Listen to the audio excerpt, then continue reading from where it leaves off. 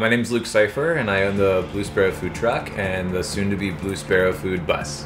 So, Blue Sparrow is a concept that started out as, um, I guess we can go back to me being a chef in the city for the last 10 years, um, and getting to a certain point in my career where I wanted to try and do something on my own. And a food truck was a way for me to have a small menu um, and be able to do a quality food product and have customer interaction, which was a lot of the draw to being able to do something like that. Being stuck in the back of the house has never been my forte. And so um, I love food and I love people, and so a food truck was a natural way to do that. Our regular customers come back every week and they try the new things that we have on the menu, and that's been huge uh, in just building us a model and why we're doing another rig. Um, our general food concept is global street food, uh, which is a really fun way to do whatever we want.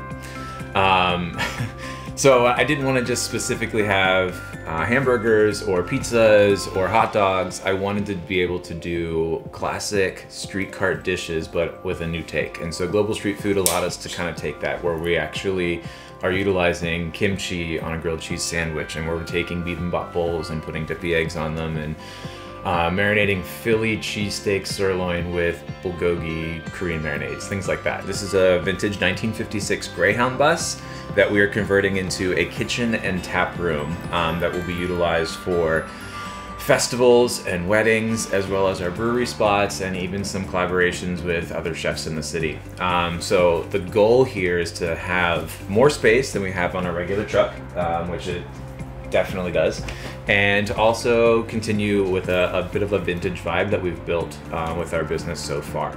This campaign uh, is designed to consolidate uh, the second half of our build. So the first half is going to make this rig fully functional. We're going to be able to be a fully functional food bus um, at this point. And then this next round of money is going to pay for the tap system um, and for the secondary kitchen, which is more storage and more execution so that we, at the end of this whole thing, are going to be able to have three service windows to be able to serve more food faster to more people and have more options and more menu items.